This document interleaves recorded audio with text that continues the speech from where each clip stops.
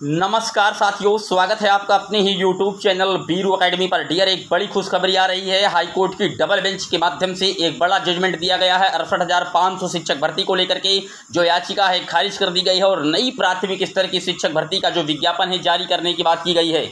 पूरी तरीके से बात करेंगे। बड़ी खुशखबरी है, शिक्षक भर्ती का वेट करने वाले डीएलएड पास अभ्यर्थियों के लिए। लेकिन जितने लोग चैनल पर पहली बार जुड़ रहे हैं सब्सक्राइब करके बेल आइकन प्रेस कर लीजिए। डियर आपकी स्क्रीन पर आप देख सकते हैं, अड़सठ हज़ार पाँच सौ शिक्षक भर्ती मामले में माननीय कोर्ट के द्वारा आज पूरी तरीके से मैटर को निस्तारित कर दिया गया है। आर्डर कुछ ही समय बाद अपलोड हो जाएगा और वहाँ पर जो कोर्ट के द्वारा कहा गया है, वो एक ही बात कही गई है कि अड़सठ में जो पद रिक्त रह गए हैं, लगभग सत्ताईस पद खाली हैं। अड़सठ लिखित परीक्षा हुई थी, आप जानते हैं इसमें। और इसमें लगभग सत्ताईस हज़ार पद रिक्त रह गए थे। तो उन बचे पदों पर नया विज्ञापन जारी करके, पुनः परीक्षा करा करके नब्बे दिनों में भर्ती को कंप्लीट किया जाए। ये बड़ा ऑर्डर दिया गया है माननीय कोर्ट के द्वारा। यानी कि ये तय हो चुका है कि सत्ताईस हज़ार पदों पर अब नई भर्ती का जो विज्ञापन है, वो जारी करना पड़ेगा। नब्बे दिन के अंदर पूरी भर्ती प्रक्रिया को कंप्लीट करने का आदेश दिया गया है।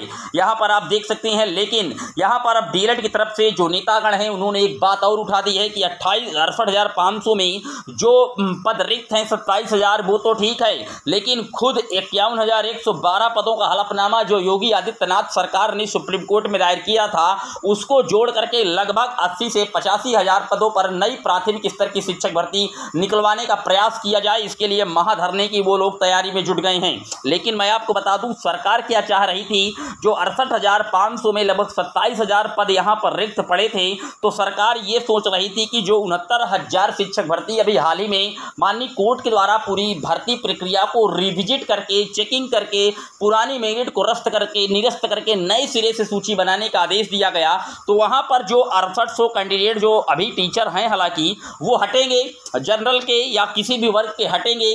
तो जो अचयनित हैं, उनको यहाँ पर समायोजित करना चाहती थी सरकार अड़सठ हज़ार पाँच सौ में जो पद रिक्त थे। लेकिन माननीय कोर्ट के डबल बेंच के द्वारा एक बड़ा आदेश जारी किया गया है कि किसी भी प्रकार से इन पदों पर समायोजित नहीं किया जाएगा, बल्कि नई भर्ती का जो विज्ञापन है वो तत्काल निकाला जाए और तीन माह के अंदर जो पदे पद हैं, सत्ताईस हज़ार पद जो रिक्त रह गए हैं अड़सठ हज़ार पाँच सौ से, उनको तत्काल भरा जाए। तो नई प्राथमिक स्तर की शिक्षक भर्ती का वेट करने वाले अभ्यर्थियों के लिए बड़ी खुशखबरी है। निश्चित तौर पर सरकार को बैकफुट पर लगातार झटके मिल रहे हैं कोर्ट के द्वारा।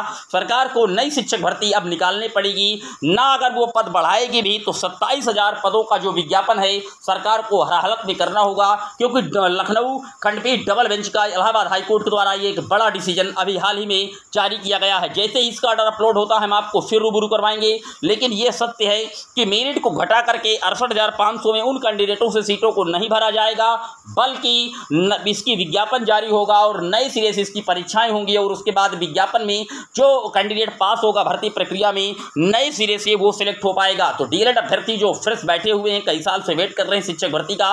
उत्तर प्रदेश में प्राथमिक स्तर की शिक्षक भर्ती का, उनके लिए खुशखबरी है। सत्ताईस हज़ार पदों पर जल्द से जल्द भर्ती करने का आदेश मानी कोर्ट ने दिया है। सरकार को आदेशित किया है कि नब्बे दिन के अंदर पूरी भर्ती प्रक्रिया को कंप्लीट किया जाए। अब देखने वाली बात यह होगी कि क्या इक्यावन हज़ार एक सौ बारह पद इसमें ऐड करके सरकार पचासी हज़ार पदों पर एक बड़ी भर्ती करती है, या फिर मानी कोर्ट के आदेश के अनुपालन में सत्ताईस हज़ार पदों पर ही जो विज्ञापन है, वो जल्द से जल्द जारी करती है। ये था। बड़ी अपडेट कैसा लगा ज़रूर कमेंट कीजिएगा। पहली बार है सब्सक्राइब कर लीजिएगा। फिर मिलेंगे। तब तक के लिए जय हिंद, जय भारत।